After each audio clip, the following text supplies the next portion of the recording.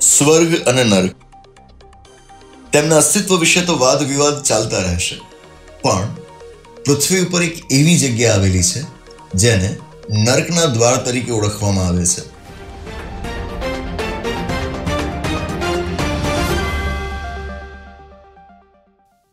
આ જગ્યા આવેલી છે તુર્કમેનિસ્તાનમાં. તુર્કમેનિસ્તાનના કારાકોમ રણમાં કુદરતી ગેસનો એક વિશાળ ખાડો આવેલો છે. આ ખાડાને ગેટ્સ ઓફ હેલ એટલે કે નર્કનો દ્વાર કહેવાય છે. સિત્તેર મીટર પહોળો અને વીસ મીટર ઊંડો આ ખાડો છેલ્લા પાંચ દાયકાથી એટલે કે પચાસ વર્ષોથી સતત બળ્યા જ કરે છે. તેની નજીક એક ગામ આવેલું છે, જેનું નામ છે દરવાજા. આ ગામના નામ પરથી આ ખાડાને દરવાજા ખાડા તરીકે પણ ઓળખવામાં આવે છે. બે હજાર અઢારના વર્ષમાં ત્યાંની સરકારે આ ખાડાને સત્તાવાર રીતે શાઇનિંગ ઓફ કારાકોમ નામ આપ્યું હતું. તાજેતરમાં તુર્કમેનિસ્તાનના રાષ્ટ્રપતિએ જાહેરાત કરી કે તેઓ હવે આ ખાડાને બંધ કરવા માટેનું આયોજન કરી રહ્યા છે.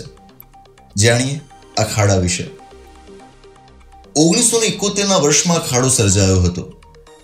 કહેવાય છે કે તે વખતે સોવિયત યુનિયન ત્યાં ઓઇલ માટે ડ્રિલિંગ કરી રહ્યું હતું અને તે દરમિયાન આકસ્મિક રીતે તેઓ પ્રાકૃતિક ગેસના એક જથ્થાને ધક્કો મારી બેઠા. આનાથી થયું એ કે જમીનનો તે ભાગ ધરાશાયી થઈ ગયો અને ખાડો સર્જાયો.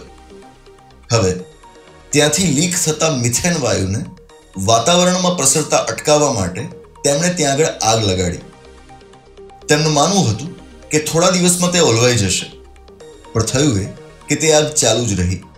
ઉલટાનું, સમય સાથે તેનું કદ વધતું ગયું. હવે નવાની વાત તો એ છે કે સમય જતાં તે એક ટુરિસ્ટ પ્લેસ બની ગયું. ખાસ કરીને રાતના સમયે તેનો નજારો આહલાદક હોય છે.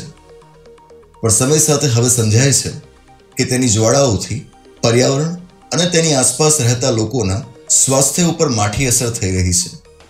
ઉપરાંત, તુર્કમેનિસ્તાન તેનાથી પોતાના મૂલ્યવાન સંસાધનો પણ ગુમાવી રહ્યું છે, જેથી તેના આર્થિક નુકસાન પણ થઈ રહ્યું છે. આથી તેને બંધ કરવાનો નિર્ણય લેવાયો છે. નોંધીએ કે અગાઉ પણ આ આગને ઓલવવાના પ્રયત્નો થયા હતા, પણ તે નિષ્ફળ નીવડ્યા હતા.